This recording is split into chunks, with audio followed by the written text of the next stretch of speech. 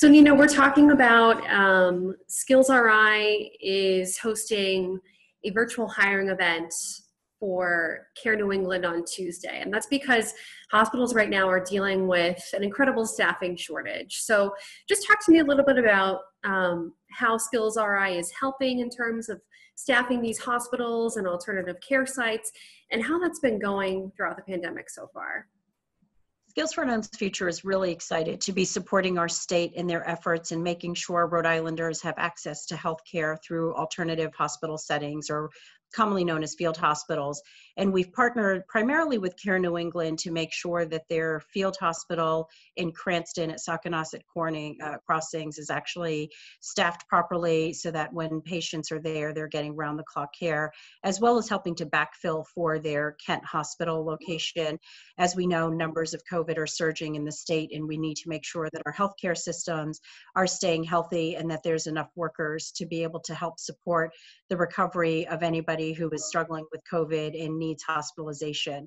So right now we are helping Care New England staff up up to 250 healthcare professionals, primarily registered nurses, certified nursing assistants, and medical assistants, but they're also looking for all, all levels in the healthcare system, including administrators and paraprofessionals and doctors. And so we have been putting out call to actions to anybody who wants to roll up their sleeves, join kind of the, the, the frontline workers who are helping us all stay safe during this pandemic. And on Tuesday, December 8th, we have a large virtual hiring event where we're working directly with Care New England, staging on the job interviews. And Care New England has been a phenomenal partner in trying to onboard people pretty quickly so that they can get their, their hospital locations properly staffed as our numbers continue to grow of people who need hospitalization.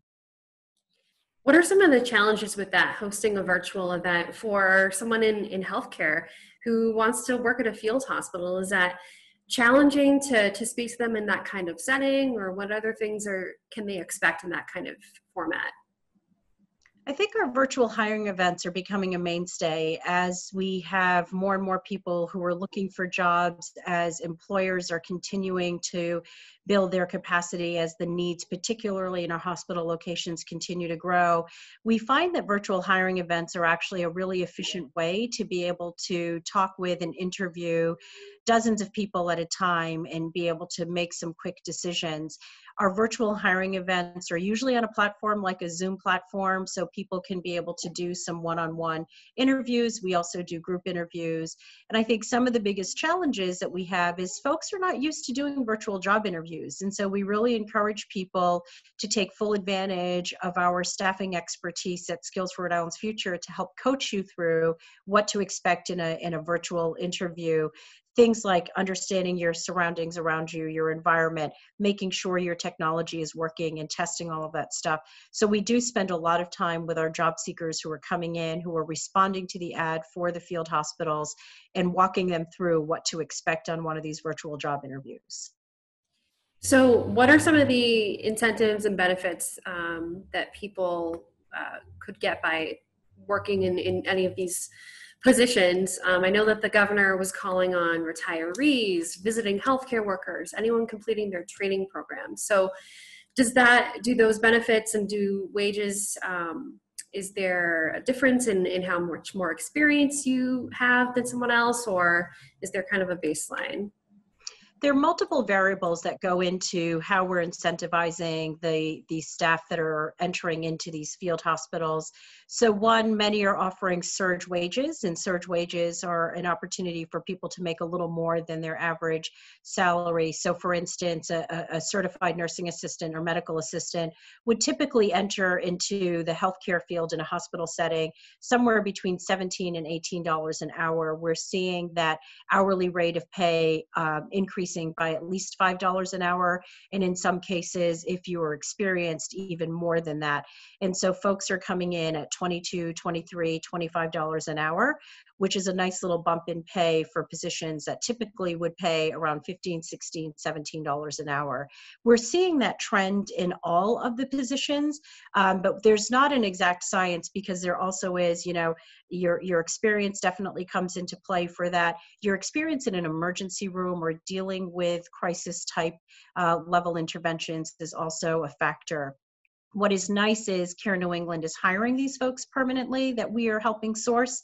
And that is an exciting opportunity, particularly for folks who have recently graduated. Getting into a hospital setting is not always the easiest. And so this is a nice pathway in to enter into one of our premier healthcare settings here in Rhode Island. So we're really encouraging all of the recent college grads, soon to be college grads, to sign up, get involved, uh, because this could be your pathway into, again, one of our stronger healthcare systems here in Rhode Island. And for retirees who are looking to come, we're actually working with Care New England right now to develop opportunities for shift work. So if you've recently retired, you're enjoying retirement, you don't necessarily want to come and work full time, Care New England has uh, allowed us to talk about per diem shifts and just picking up a few shifts to continue to help out. And, and so many of our healthcare workers, it's in their DNA to just want to roll up their sleeves and help out.